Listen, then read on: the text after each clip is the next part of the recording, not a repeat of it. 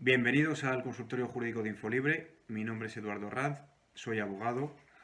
Eh, llegado a este punto, hemos vivido cinco fases de estado de alarma. hemos comenzado recientemente con la nueva normalidad que ha sido aprobada en el Parlamento por 265 votos a favor.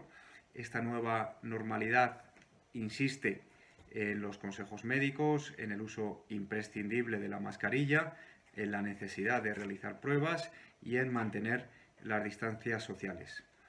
Eh, con la llegada de la nueva normalidad también es frecuente el aumento de los vuelos tanto nacionales como internacionales y con ello la necesidad de prever protocolos. Los vuelos, ningún vuelo va a volver a ser como estábamos acostumbrados, es decir, eh, el aumento de los usos tecnológicos como puede ser en el registro de maletas será una constante, el contacto físico será reducido a lo mínimo indispensable, con el problema que las cabinas están pensadas para ser usadas en vuelo y no en tierra. Eh, las compañías tendrán la obligación de eh, hacer eh, test a la más mínima previsión que pueda haber algún tipo de contagio, lo cual puede suponer un retraso en el vuelo.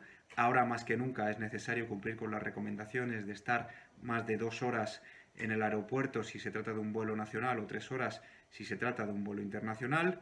Y eh, muy importante, muy importante, si bien es cierto en la nueva normalidad estamos mucho mejor que en la fase cero, no nos confiemos, la vacuna está aún por llegar.